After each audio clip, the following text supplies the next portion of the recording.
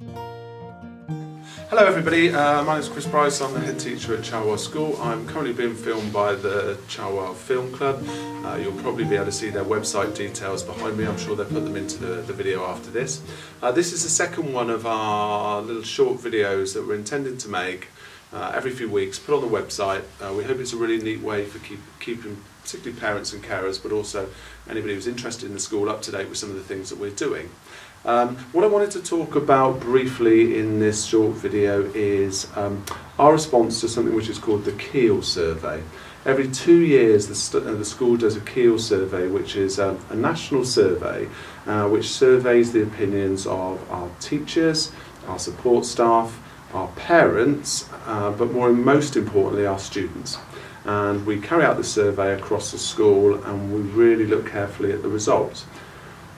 One of the things that always pleases me about the Keel survey is that most of the time, most of the students in the school are really kind of happy with the school. Uh, they like being here, they're happy to be here, and then they say they're in a good school and they enjoy being in a good school.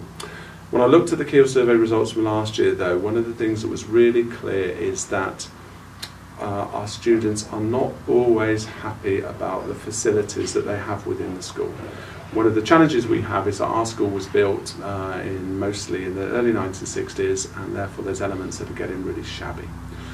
One of the things we've tried to do in response to the Keel survey is make some immediate significant changes. Uh, you will have seen hopefully the garden rooms projects we've got on south side, but we've also done something similar on north side.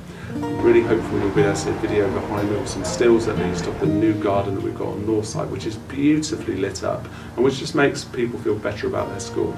More significantly, I suppose, what we've also done is done a big investment in toilets. Uh, having really nice toilet facilities within within the school just is a big lift for everyone.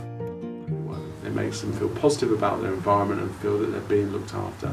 So we spent quite a lot of money over the last few months having a really uh, good new girls' toilet block being built. Now again, I'm hoping that you'll be able to see some of the uh, lovely facilities that we've now got.